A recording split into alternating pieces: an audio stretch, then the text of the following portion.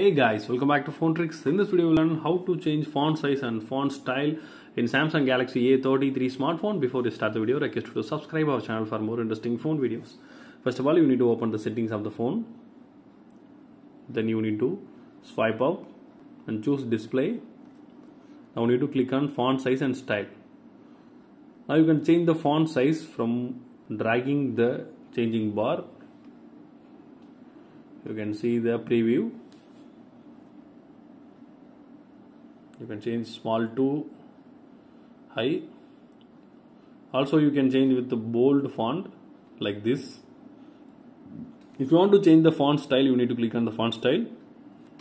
So there are three options available. One on the default and another is samsung one. And another one is a gothic bold. If you want to download more fonts you need to click on the download fonts. It will navigate into the font store.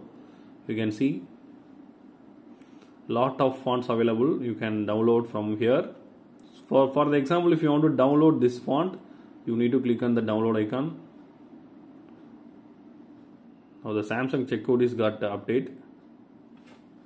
Wait for a few seconds. Now the update is completed. Now the font, font is downloading started. Actually it asks for the money uh, so we, we will look for the free one. So you can see the money is displayed here amount is displayed here. So you can choose the top free option. So this three only free I think. So it's very ridiculous. So now I download the free one. Now click on the Galaxy Game Place Latin flip font now come back to this menu. You can see the downloader font is available here. So we can change.